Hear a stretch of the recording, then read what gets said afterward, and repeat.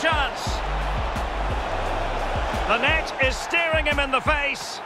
And the keeper nowhere to be found, not that he's complaining.